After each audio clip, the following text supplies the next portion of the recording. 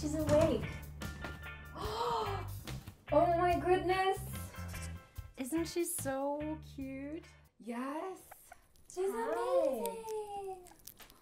I've never seen a sugar glider before. I love her. Oh, me too. So, I'm guessing these animals like sugar.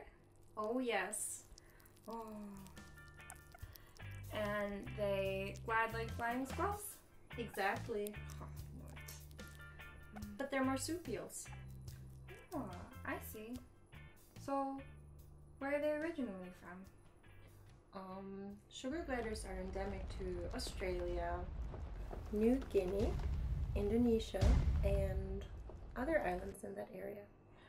Ah, okay. That region. Mm-hmm. So, what's her name? Monet. Monet has a nice ring to it. Hmm? Nice ring? Does she mean this ring? It's nice, but. Or maybe.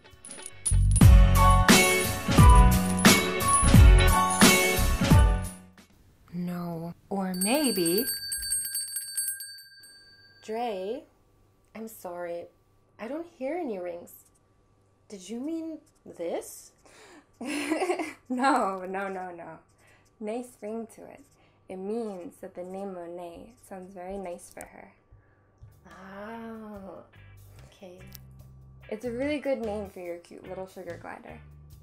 Oh, yes. Monet is a perfect name. Thank you so much for watching this episode of Tasty English. We have another episode coming in a few weeks, so stay tuned. And if you are studying or teaching English, then please go to www.tasty-english.com for more activities and quizzes for this video and other videos. And don't forget, a nice ring to it means that something is interesting and attractive. It has sort of a pleasant tone, a pleasant ring to what you are talking about. And if you have any other ideas, idioms, please write it in the comments below. Please like, share, and uh, subscribe to Tasty English.